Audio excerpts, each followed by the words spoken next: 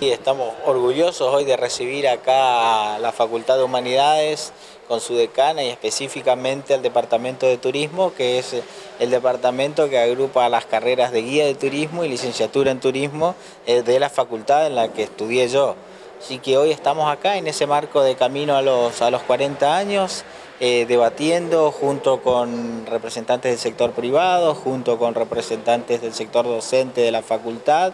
eh, y nosotros también representando al gobierno de turismo acá en Puerto Iguazú y, orgullosos de poder producir conocimiento en conjunto con esta gente que también ellos siguen capacitándose y qué mejor ejemplo para nuestros jóvenes que nosotros siempre estamos insistiendo los que tienen que capacitarse. Uno cuando, cuando estudia lo que sí tiene en mente es que el techo no existe. El techo se lo pone uno de acuerdo a, lo que vas cargando a tu producto personal, que sos vos como persona, estudiando, realizando cursos, capacitándote. Entonces, eso es lo que tienen que visualizar nuestros jóvenes. Estudiar para que el techo hacia arriba esté abierto. Muy felices por,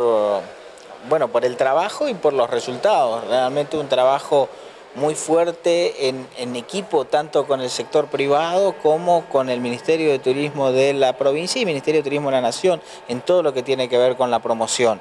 Y sabemos que también en julio llega Andes, el 3 de julio vamos a tener el vuelo inaugural de Andes a nuestro destino, se viene la temporada alta y estamos viendo resultados, ahora estamos enterándonos que estamos entre los destinos más visitados y más el destino más elegido eh, para estas páginas que manejan información de turistas del mundo y que ellos no, nos, den ese dato, nosotros realmente nos, llena de orgullo y, y nos impulsa a seguir trabajando en esta línea.